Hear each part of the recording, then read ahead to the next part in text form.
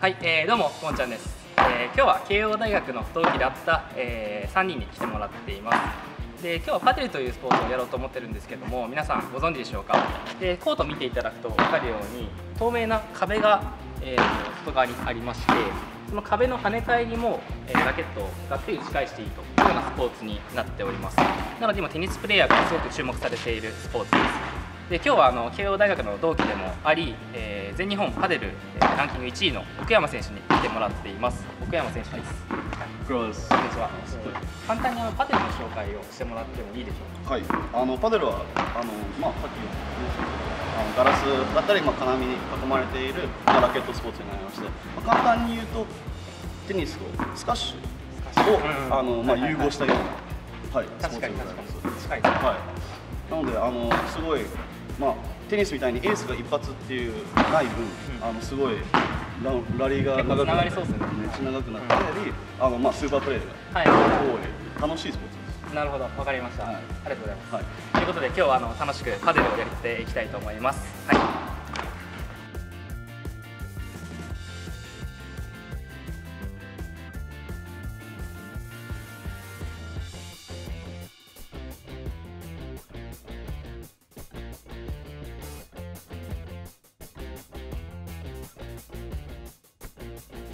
であの金網と壁があるじゃないですか。あれっていうのはなんかどういう使い分けをするんですか？なのでまあ基本ルール上、はい、直接当たったらまあアウト、はい、でワンバンすれば相手のボールはまあどこに当たってるか、うん、自分がこう壁を使うときにはガラスだけ、はい。はいはい、あなるほど。なので横を金網当てて返すっていうことは金網なしなんですね自分で当てるときは。自分でガラス当てて返すことは全然。じゃあ例えばあの来たボールを僕がボレーとしてワンバンして金網に当てるのはありそれは全然これはありはい。なので僕が例えば返すしてこう返すのはこれはこれはダメ。わかりました。であとあのダブルスしかないと思うんですけど、うん、なんかフォーメーションとかテニスと違うんですか？テニスと違ってあのそれぞれプレーヤー固定で、専門のサイドなんですよ。ああ、じゃあもう、フォアサイド、バックサイド、固定っていう感じで。なので、サーブの時に自分が、まあ、ペアのサイドにいるときは、基本、まあ、テニスでいうオーストラリアンフォーメーション。はい、なので、ゴンちゃんがバックサイドであれば、はい、僕はここからサーブして、ゴンちゃんここで、僕はサーブボール、フォアサイドに戻るなるほど。じゃあ僕がサーブの場合は、奥山選手が前にいて、そうです僕は基本ここにいるんで、はいはい、その時は、ゴンちゃんがバックサイドに行く。なるほど。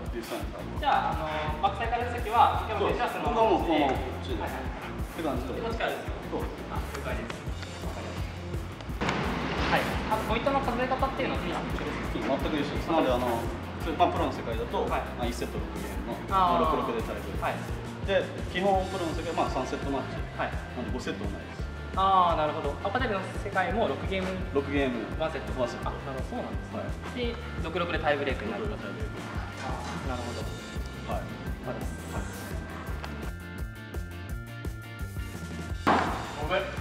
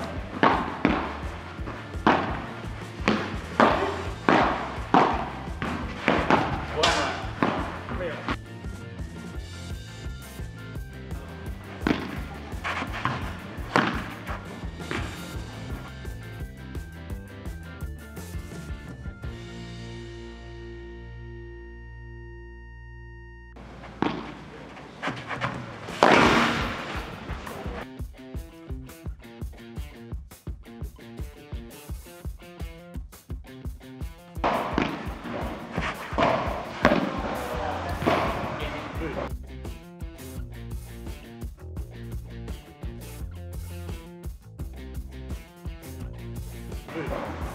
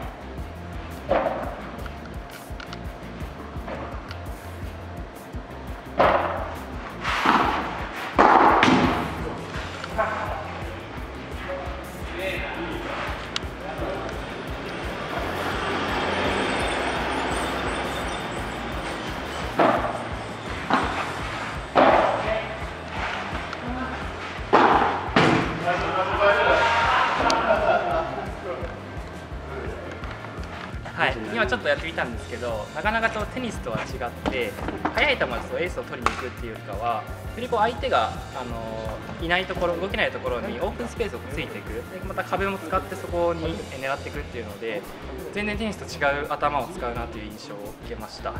はい、なんか難しそうなんですけども、ちょっとあの頑張って鍛えていきたいと思います。